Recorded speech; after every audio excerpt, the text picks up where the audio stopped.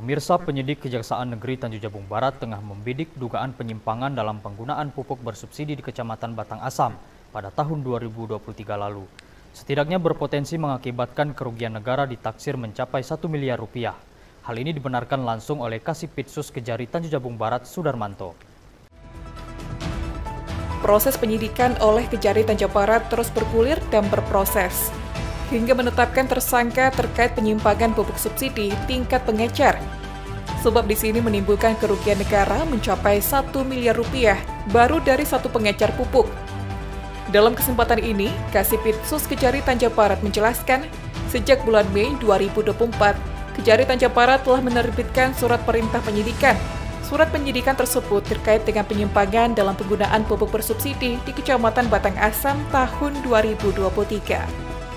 Untuk kerugian negara belum dihitung secara pasti, namun dugaan sementara berkisar 1 miliar rupiah di satu pengecer. Yang mana pendistribusian pupuk bersubsidi ini dari distributor ke pengecer secara langsung, atau dari rencana definitif kebutuhan kelompok RDKK, sebab penerima pupuk yang tidak tepat sasaran dan harga yang tidak sesuai dengan harga eceran tertinggi atau HET yang ditetapkan Kementerian Pertanian. Modusnya penerima pupuk terdaftar di RDKK yang mendapat jatah 100 kg, kemudian hanya mengambil 50 kg. Namun dalam aplikasi penerima mengambil 100 kg. Eh, bisa kami sampaikan pada hari ini memang pada bulan Mei ya. kemarin kami penyidik Kejaksaan Negeri Tanjung Jabung Barat sudah menerbitkan surat perintah penyidikan eh, terkait dugaan penyimpangan dalam penyaluran pupuk bersubsidi di Kecamatan Batang Asam tahun 2023. Jadi data penyidikan saat ini. Potensi?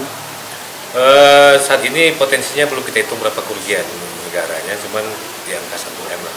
Ya. Ini baru di satu pengecer ya, hmm. baru satu pengecer. Jadi sebenarnya dari bidang atau seperti apa?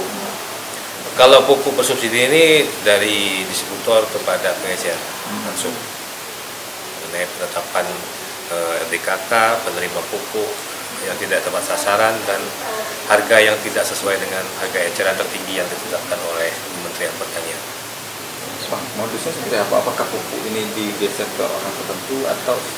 Uh, ya, jadi ada beberapa modus. Yang pertama, uh, misalnya saya, nama saya terdaftar di RDKK, hmm. jatah saya ini 100 kilo, saya cuma ngambil 50 kilo. Tapi di dalam aplikasinya saya ngambil 100 kilo. Lebih lanjut, Sudarmanto menambahkan, dari tingkat pengecer harga kembali dinaikkan. Yang semestinya di harga Rp115.000 per satu karung 50 kg, namun dijual kembali di lapangan atau tingkat petani di harga Rp160.000 dan harga jualnya tidak sesuai dengan head. Sudarmanto melanjutkan, indikasi seperti ini baru ditemukan di satu kecamatan. Tidak menutup kemungkinan di kecamatan lain juga ada, Pihak penyidik baru menemukan penyimpangan ini pada tahun 2023, serta tetap melakukan pendalaman apakah tahun sebelumnya juga terjadi. Untuk jumlahnya sendiri, secara berkala di Kecamatan Batang Asam terdapat dua jenis pupuk, pupuk urea 500 ton dan pupuk NK 900 ton. Sudarmanto mengimbau jika ada petani yang menemukan praktik penyimpangan seperti ini, diharapkan untuk melapor ke kantor Kejari Tanjung Barat. Di tingkat bawah, tingkat pengecer itu harganya dinaikkan. Semestinya harga eceran tertinggi yang ditetapkan oleh pemerintah adalah 115.000 satu karung 50 kg. Cuman dijual di lapangan 160.000 per kilo eh, per karung ya. Dari kenaikan harga. Iya, sesuai dengan HET.